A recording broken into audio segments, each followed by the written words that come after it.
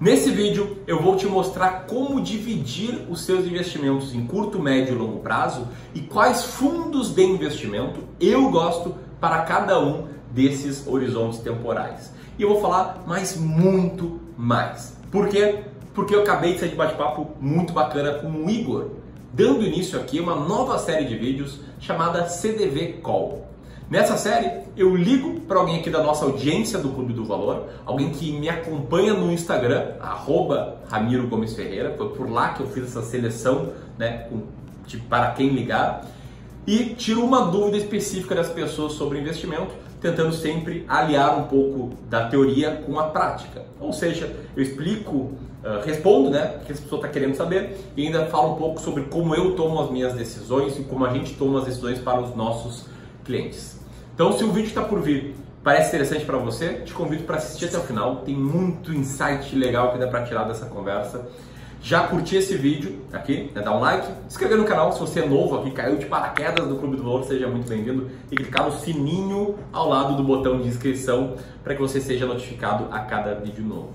E eu não posso deixar de citar também, né, o nosso novo Instagram, arroba Ramiro Gomes Ferreira. Através de lá estou fazendo um contato um pouco mais pessoal com o pessoal que nos segue aqui e foi através de lá que eu selecionei essas primeiras pessoas para participarem do CDV Com. Beleza? Então, vou sair daqui e voltar direto para ligação com o Igor. O vídeo está muito bom, acompanhe até o final, você não vai se arrepender. Grande abraço. Bom, então vamos lá, vou ligar aqui pro Igor. Igor tem 26 anos e fala de Piracicaba, São Paulo.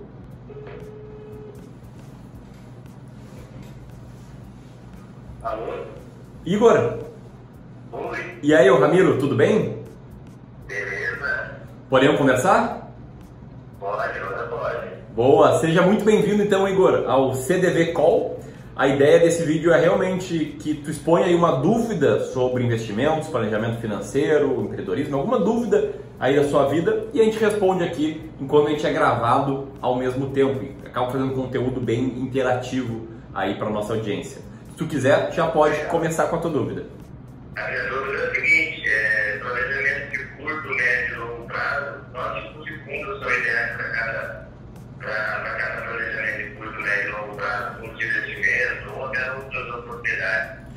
Tá ótimo, excelente, Igor. Ah, muito bom esse ponto, a gente dá para falar bastante sobre ele. Mas antes de mais nada, eu quero apenas entender aí contigo. Ah, você já estabeleceu objetivos financeiros nesses três prazos, é isso?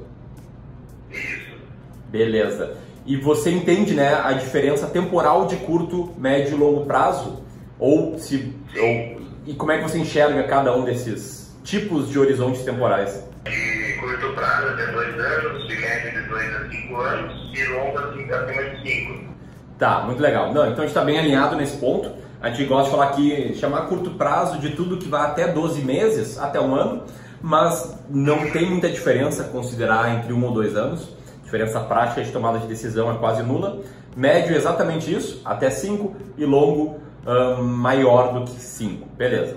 Primeiro ponto, então, Igor, ah, visto que você já tem objetivos claros, definidos, sabe muito bem a diferença né, entre o horizonte temporal de curto, médio e longo prazo, vamos começar pelo que é mais fácil, que é curto. Qual a ideia do curto prazo? Né? É, A ideia é, antes de mais nada, preservar o patrimônio. Por quê?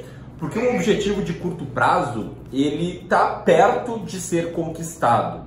Muitas vezes, falando com nossos clientes ah, e leitores da nossa audiência, a gente percebe que objetivos comuns de curto prazo são, por exemplo, fazer uma viagem com a família, ah, trocar de carro algumas vezes, ah, enfim, montar um fundo de emergência, né, para quem não tem.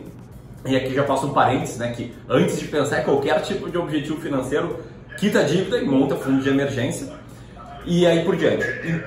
Então, a gente vê um erro que muitas pessoas cometem, que é investir em ativos que variam diariamente no mercado, às vezes para cima, às vezes para baixo, mas que são ativos que a gente chama de ativos voláteis, como ações, fundos imobiliários, em se falando de fundos de investimento, fundos multimercados e aí por diante para esses objetivos de curto prazo.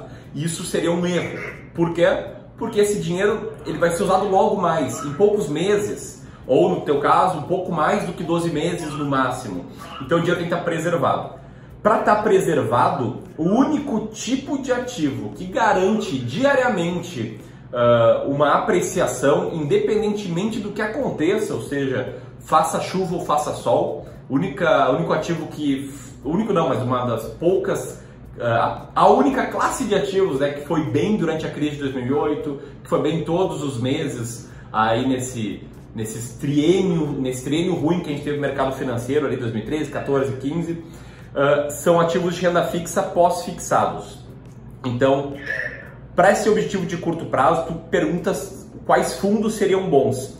Mas às vezes você pode conseguir algumas alternativas que rendam mais do que um fundo que mantenha carteira em ativos de renda fixa pós-fixados, que pode ser o caso de um CDB, por exemplo, ou de uma LCI e uma LCA.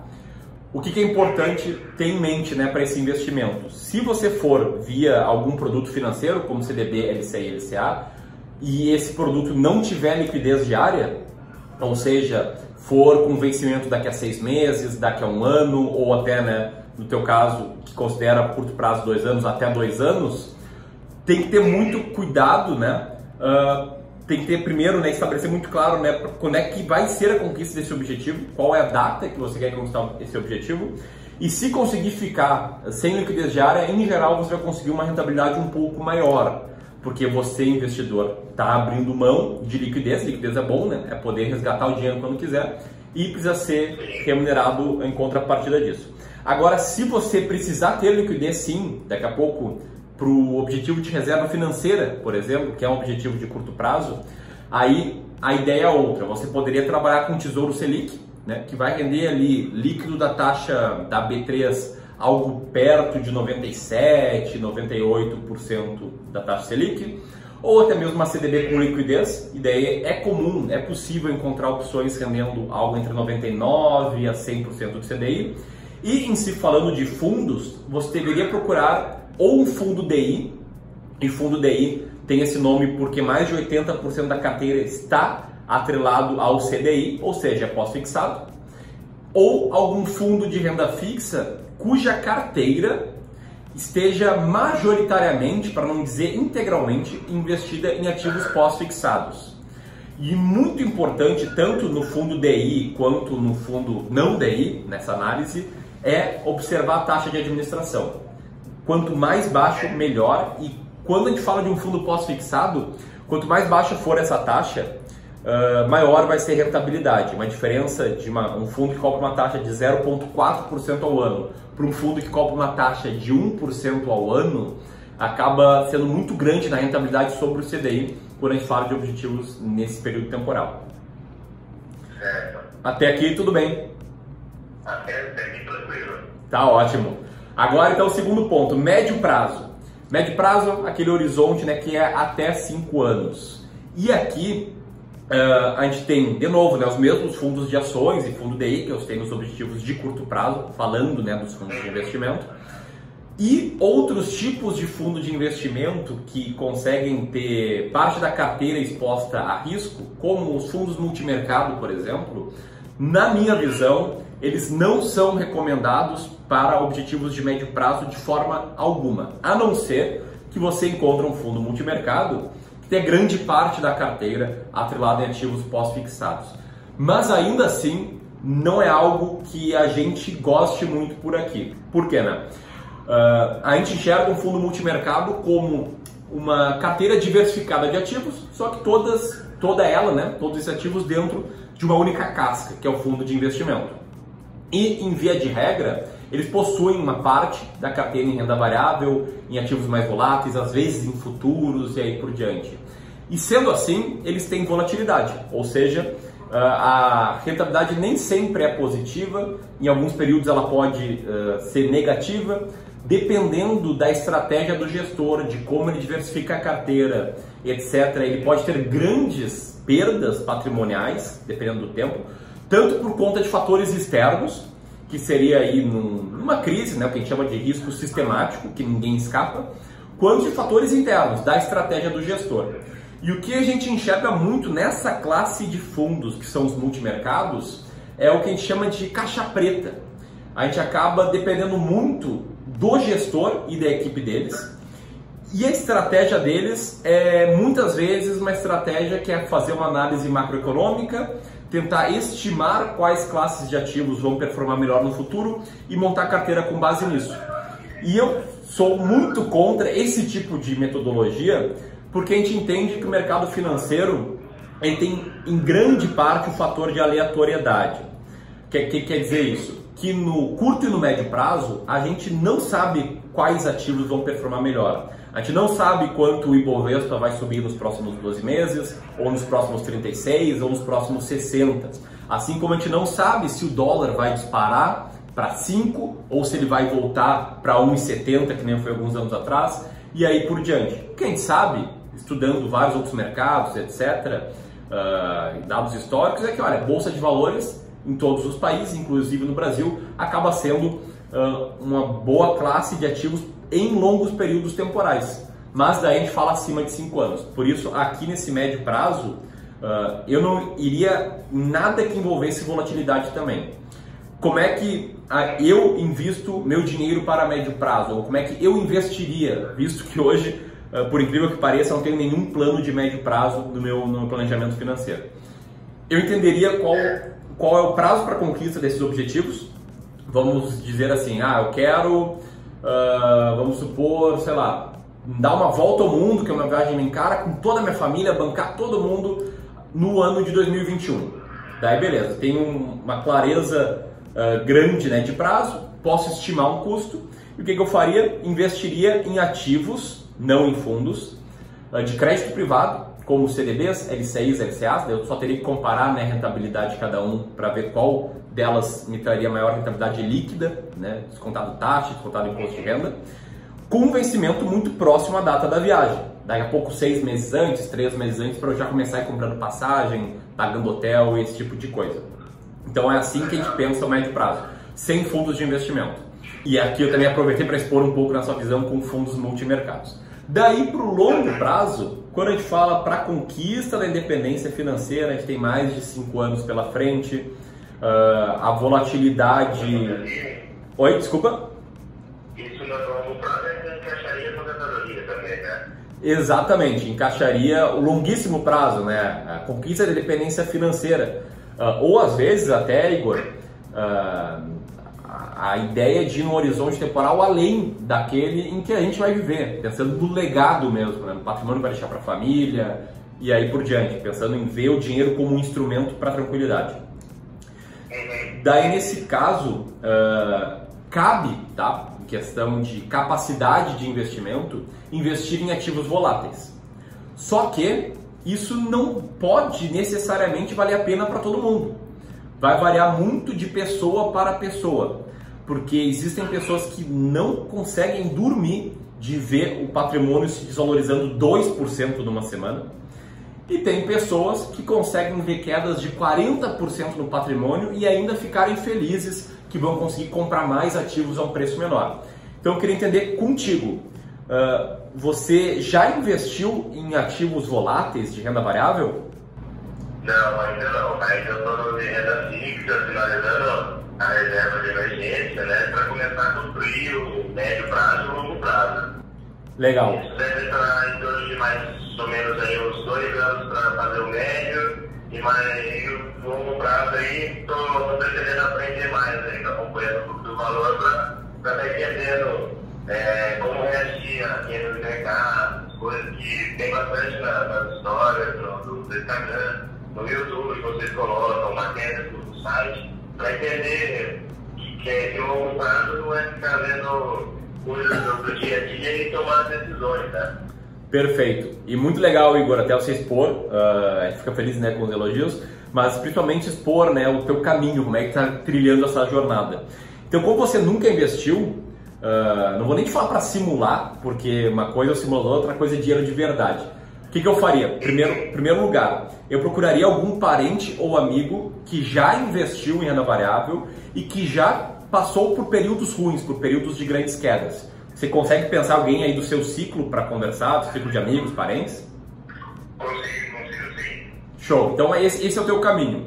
E tenta perguntar como é que a pessoa se sentiu uh, com isso se é uma pessoa próxima, tenta lembrar como é que você se sentiu com isso, para tentar dar uma estimativa do quanto de risco você tolera. Por quê? Comecei falando, né? A partir de 5 anos para cima tem espaço para tudo né, na carteira, tudo que é volátil, que não é. Depois que a gente tem que entender o quanto a gente tolera. Para quem já investiu, já passou por crise, por crise financeira, sabe muito bem o quanto tolera e quem não passou por isso tem que ter um jeito de estimar como é que seria. E esse jeito pode ser conversando com pessoas muito próximas. Daí o próximo passo seria uh, tentar entender, né? Como é que seria se eu botasse lá o meu suado dinheiro, dinheiro do meu trabalho, uh, para conquistar a independência financeira e daqui a pouco tomasse uma tungada aí de, sei lá, 20, 30%. Botei lá 100 mil, virou 70 mil. Como é que eu me sentiria? Eu ia ficar tranquilo em comprar mais ou eu iria daqui a pouco fugir do plano e seguir o efeito manada, vender quando está todo mundo vendendo uh, e acabar né, aí destruindo o, o, o, seu plano financeiro. Esse seria o próximo passo. Não sei se você já consegue ter essa estimativa de tolerância ao risco. Ah, entendi. Não, legal. É uma ideia bem, bem interessante, né? Porque a gente acha que fazendo um simulador vai falar, não, é, tô, pô, é, eu consigo perder e continuar. E nem você disse, simulador é uma coisa, dinheiro é outra, né? Exatamente. Perfeito. E interfere muito é, o emocional da pessoa, o que realmente o dinheiro representa para ela, né? Exatamente. Exatamente. Uh, dinheiro para ser um meio de tranquilidade, né? Então, se, se uma grande queda for tirar a tua tranquilidade, a solução seria colocar um percentual menor do patrimônio né, em ativos voláteis, entendendo que isso significaria abrir mão de rentabilidade em longo prazo. Tudo é questão de botar no papel, fazer as contas, né? Uma rentabilidade um pouco menor é o suficiente para conquistar os seus objetivos e daí ir definindo o percentual em renda variável colocar no longo prazo. E, e fechando. Ótimo. E fechando aqui, Igor, a tua dúvida, quais fundos caberiam aqui, né? Vou começar com aqueles fundos que eu mais gosto, que o nome é fundo, mas na verdade é quase como se fosse uma ação, que são os fundos imobiliários. Né? Um fundo imobiliário é, é negociado em bolsa como se fosse uma ação, varia, né? tem volatilidade como se fosse uma ação, um pouquinho menos volátil, e por trás ele tem imóveis. Então gosto muito, tem bastante fundo imobiliário na minha carteira pessoal.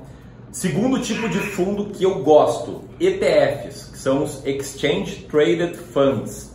Esses são fundos de índice uh, que também são negociados em bolsa de valores e eles espelham a carteira de um índice teórico. Então tem um ETF chamado BOVA11 que espelha a carteira do Ibovespa, tem as mesmas ações que tem a carteira do Ibovespa, uh, mesma proporção, então ele sobe quase igual ao Ibovespa, cai quase igual ao Ibovespa. Gosto deles porque é uma forma fácil de diversificar com pouco dinheiro a tua carteira e ter exposição em renda variável. E além disso, o custo é muito baixo. Né? Todo fundo tem taxa de administração e o, os ETFs têm taxas especialmente baixas. Fora isso, uh, existem fundos de ações, os FIAs, que daí é um gestor selecionando as ações para você uh, escolhendo quais eles acham, eles acham melhor, mas fazer uma análise de um FIA não é a coisa mais simples do mundo. Primeira coisa que eu digo é para olhar a taxa de administração que o FIA cobra, como a carteira está diversificada e depois falar com o gestor, entender a estratégia dele. Entendendo a estratégia do gestor, tendo segurança, também caberia né, uh, um FIA para a parte de investimento em ações. Fora isso, não tem fundo que a gente goste ou recomende aqui, até porque a gente não pode recomendar investimentos, mas espero ter dado uma luz aí né, em como pensar a seleção de fundos para esse longo prazo também. Ah, bacana. É porque fundos, basicamente, é aquela pessoa que não tem tanto tempo para estar procurando as informações e tal, e o gestor fazer essa movimentação, né, essa diversificação para a pessoa. Né? Basicamente seria isso. Exatamente. Delegaria para o gestor tomar decisão, mas ainda assim essa pessoa teria que fazer o dever de casa, que é estudar bem as opções de fundo, uh, cuidar para não ser sobretaxado, que tem fundos que cobram taxas astronômicas, depois conversar com o gestor. é um processo de construção de confiança que tem que uh, ir seguindo. Tá? E outra coisa, para fechar aqui o nosso vídeo, fechar nossa conversa, existem formas também de investir eh, diretamente nos ativos, que a gente até prefere, né, investir discricionariamente nos ativos, sem ter que ficar buscando informação diariamente. E é o que a gente tenta mostrar através de uma estratégia chamada alocação de ativos, que até fica a recomendação para quem estiver nos assistindo, até para você, procurar os nossos vídeos sobre alocação de ativos, que é uma estratégia que consegue muito bem uh, exigir pouco tempo né, para fazer a manutenção da carteira, consegue reduzir os riscos dela e ainda assim aumentar o retorno aí por conta dos benefícios da diversificação e por toda a teoria da alocação de ativos que não caberia infelizmente falar uh, em poucos minutos aqui nesse vídeo. Maravilha! bem, ficou bem claro, assim, então um tempo deu pra entender bem. Que bacana, Igor. Pô, fico feliz aí de conseguir tirar a sua dúvida, né? Uh, e de ouvir que, que, mesmo em 20 minutos a gente conseguiu, né? Uh, pelo menos dar um pouco mais de tranquilidade para tomar suas decisões. Agradeço aí a sua participação no CDV Call e te aviso quando esse vídeo for ao ar, beleza? Ah, beleza. Eu que agradeço a participação aí, foi, foi gratificante. Boa, tamo junto. Valeu, Igor. Grande abraço. Bom, pessoal, então é isso aí. Esse é o nosso CDV Call. Qual parte mais legal dessa conversa com o Igor você achou qual a sua grande dúvida? Deixe seu comentário aqui e é isso aí. Tamo junto. Abraço. Tchau, tchau.